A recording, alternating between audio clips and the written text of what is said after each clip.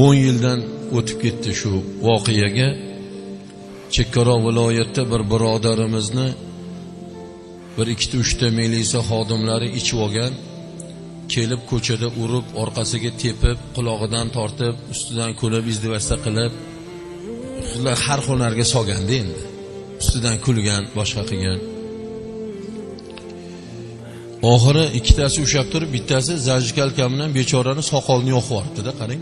Shu darajaga borgan shu darajada qadri yo'q ediku unaqa insonlarni to'g'rimi? Kim nima desa kim qanaqasi terrorist dedi boshqa dedi. Nima desa deb qo'yardida endi.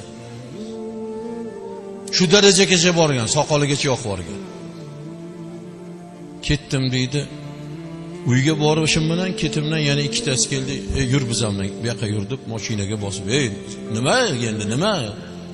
Soqolimgacha yoqdilaring yana nima xohlaysan? desa yur deb keyin biz больницаga olib bordik.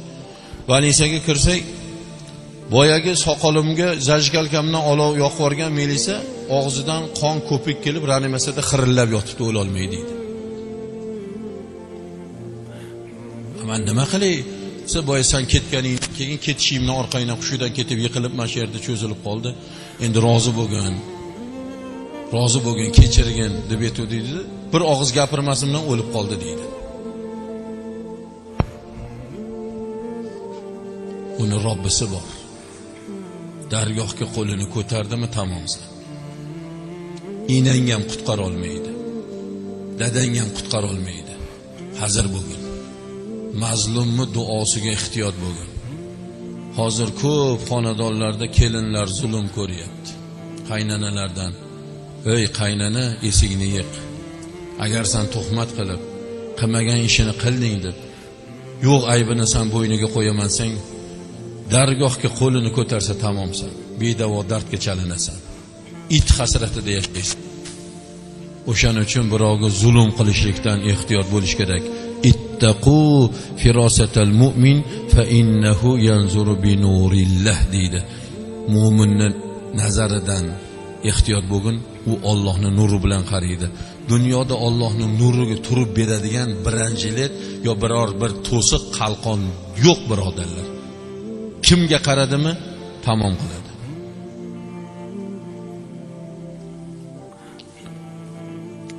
Duoni qilish kerak. So'rash kerak. Birinchi bo'ldi mana besh mahal namozxon qil. Erta bilan masjidga chiqadiganlardan qil.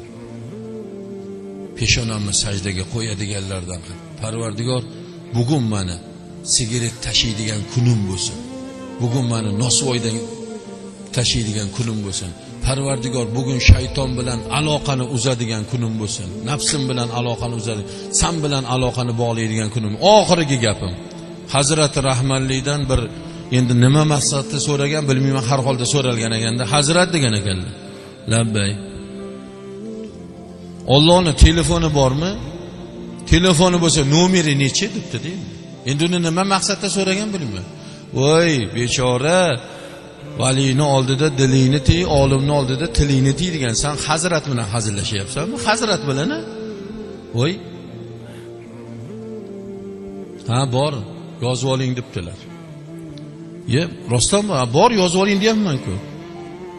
Nechi desa ikki ikki to'rt to'rt ikki to'rt uch ikki to'rt ikki uch tugar ekan. Ye qanaqa bu raqam desa ikki rakat bomdodni sunnati ikki rakat farzi to'rt rakat peshinni sunnati to'rt rakat farzi ikki rakat sunnati to'rt rakat asrni farzi uch rakat shomni farzi ikki rakat sunnati to'rt rakat farz al xuftonni farzi ikki rakat sunnati uch uch rakat vitr.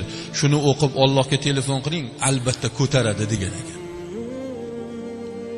Telefon qilinglar hadeb ana unga qilavermasdan hali mana unga qilavermasdan. Qilinglar ollohga qilinglar chiqinglar ko'taradi. Xudo taolo shuni aytyapti. Man sizlarni ijobat qilaman deyapti. Endi vaqtimiz hisobli ekan. Va inshaalloh. Hmm, Muhammad rasul qor akam oyatdan o'qib beradilar ustozlarimiz inshaalloh duo qilib beradilar. Buyog'i shom namozimizga ham yaqin qoldi shekilli inshaalloh.